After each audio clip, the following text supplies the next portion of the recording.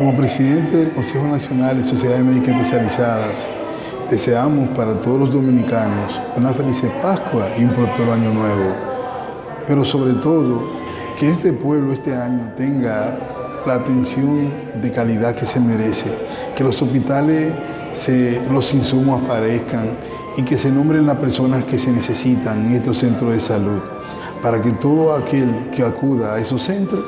pues tenga atención de calidad. Sobre todo nosotros ahora como presidente del Consejo auguramos que este año sea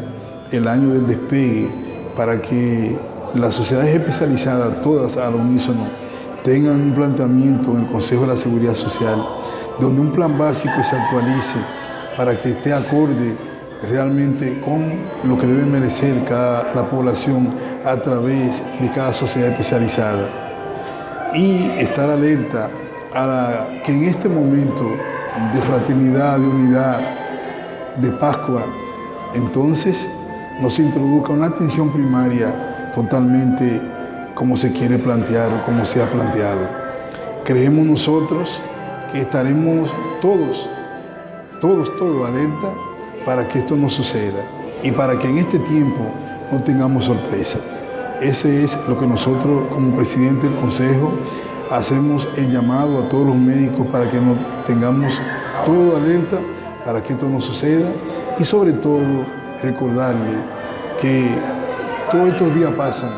pero la vida siempre se queda. ¿Qué planes tenemos nosotros en el Consejo de Sociedad Especializada?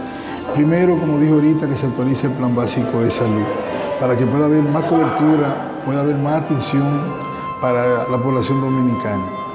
que sean recibidas todas las carteras de servicio de cada sociedad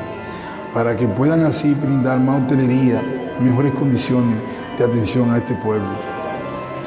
Lógicamente, también queremos que se actualicen los honorarios y tarifas,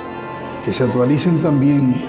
los medicamentos, el catálogo de medicamentos y de procedimientos,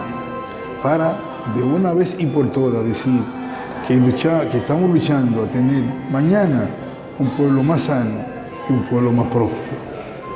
Muchas gracias y como siempre he dicho, reitero mis felicidades en Pascua y Navidad para todos.